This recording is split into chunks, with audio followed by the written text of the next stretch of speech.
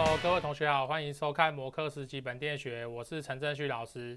在这个单元里面呢，我们要介绍十二之二 Part G 的部分，也就是我们上面两个单元的范例一跟范例二的心得。好，那老师为各位同学结那个整理了两个心得哈。首先第一个心得呢，我们可以验证 Part D 的结果，单向二线跟单向三线的比较二。好，那第二个心得呢？我们可以知道说，单向三线制如果是平衡负载的话，中性线电流是可以为零的。首先呢，我们来介绍一下什么叫做验证 Part D 单向二线制与单向三线制的比较二。那我们来回顾一下 Part D 的结论。我们 Part D 有讲过哈，使用相同负载、相同电源、相同距离，得到相同的负载的消耗功率的话，跟线路损失的话。我们的单向线路的电阻呢，是单向二线制的两四倍，好，可以满足之。或者是呢，我们用另外一句话来讲呢，就是单向二线的导线截面积是单向三线的四倍。好，那我们用范例一跟范例二来为各位同学讲一下这是什么意思。各位同学呢，我们在范例一的时候呢，有为各位同学。讲解过第三题的部分，线路损失要怎么计算？也就是单向二线制的供电系统上面的两个零点五欧姆上面的线路损失为多少？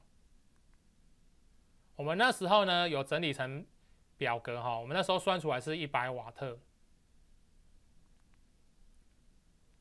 好，那第四题的部分呢，我们也有计算计算过 Ra 跟 Rb 的消耗功率为多少？我们那时候计算出来的结果是 Pa 等于 Pb 等于五百瓦特。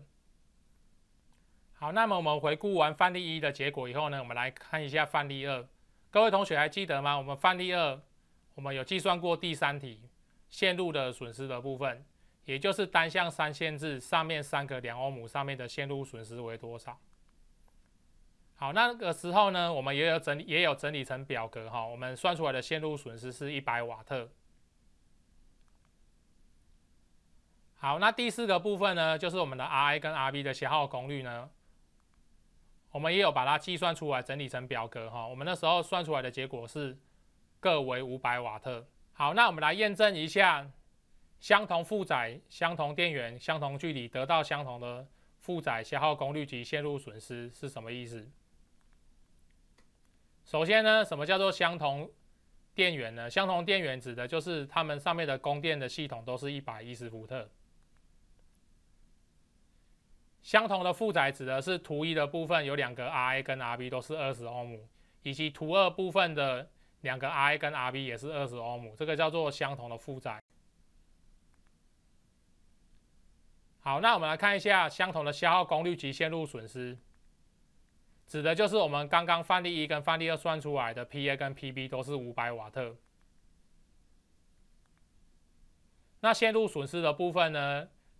图一的部分加起来是一百瓦特，图二的部分三个框框框起来的电阻加起来的消耗功率也是一百瓦特，这个叫做相同的线路损失。好，那各位同学可以看到哈，供电线上面图一部分的供电线的线路内阻是零点五欧姆，图二部分的三个供电线上面的内阻是两欧姆，也就代表了单向三线制的线路电阻。是单向二线制的线路电阻的四倍。所以呢，我们来看一下，如果你使用相同负载电源及距离，得到相同的负载消耗功率跟线路损失的时候，单向三线的线路电阻只要是单向二线制的四倍就可以满足之，也就是单向二线制的导线截面积的倍数是单向三线制的四倍，单向二线制。埋的电线的截面积是比单向三线制还要粗的。那接下来老师为各位同学讲解一下第二个心得：单向三线制的平衡负载的中性线电流为零。我们用图二来为各位同学说明。那各位同学可以看到蓝色框框闪烁的部分，Ra 跟 Rb 都是二十欧姆。这种情况呢，我们叫做平衡的负载。也就是上面装的负载的电阻值大小是一样的。好，那我们在上面一个范例呢，上个单元的范例呢，也有为各位同学讲解过物业的算法，用节点电压法，我们可以算出物业的大小是零。那物业的大小是零的原因，是因为我们装上平衡负载造成的。好，那各位同学呢，我们在左手边的部分呢，可以看到我们的节点上面装着一个接地线，这个接地线就是我们的参考点，参考点的电位是零伏特。好，那既然 VA 是零伏特，参考点上面的电压也是零伏特，所以我们依照欧姆定律呢，我们可以算出 I 零是零安培，也就是中心线上面的电流是零安培。所以依照这个结果哈，因为 RA 等于 RB 造成 VA 是零伏特，然后也造成了 I 零是零安培，所以呢，上面既然没有电流流过去，所以呢，我们尔后在计算这种单向三线电路的时候。如果负载平衡，也就是 Ra 跟 Rb 的大角值是一样的话，我们的中性线是可以拿掉分析的。哎，各位同学，这种感觉是不是很像我们上册学过的惠斯登平衡电桥那种感觉一样？好，那我们来进一步说明哈，什么叫做中性线可以拿掉？也就是我们可以把图二的两欧姆把它打叉，把它转换成图三中性线拿掉的样子。好，那变成图三的时候呢，我们是不是就可以不要利用？节点电压法来分析呢，就可以算出 I one 跟 I two 的大小是多少。好，那依照这个原则呢，老师出个 homework 给各位同学练习一下。如图所示，求 I one、I two 跟 I 零，以及第二题的部分线路的损失。那我为各位同学提示一下，这是一个单向三线的供电系统，其中蓝色框框框起的部分。各位同学可以看到吗？它其实是一个负载的平衡。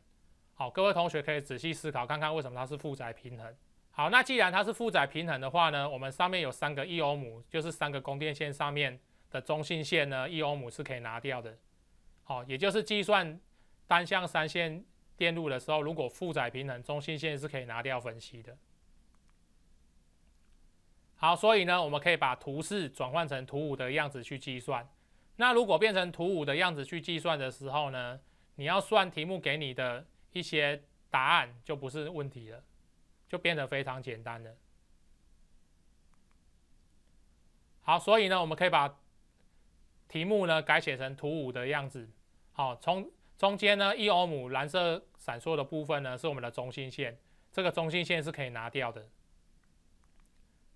那老师把参考解答给各位哦，我们的 I one。跟 I two 都是二十安培，我们的中心线电流 I 零是零。